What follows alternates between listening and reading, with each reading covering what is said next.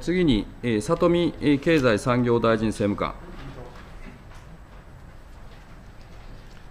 この度、経済産業大臣政務官を拝命いたしました里見隆二でございます。西村大臣をお支えし、そして両大両副大臣、また、投げ峰大臣政務官とともに、竹内委員長をはじめ、理事、委員の各位の先生方のご指導のもと、しっかりと務めてまいります。何卒よろしくお願い申し上げます。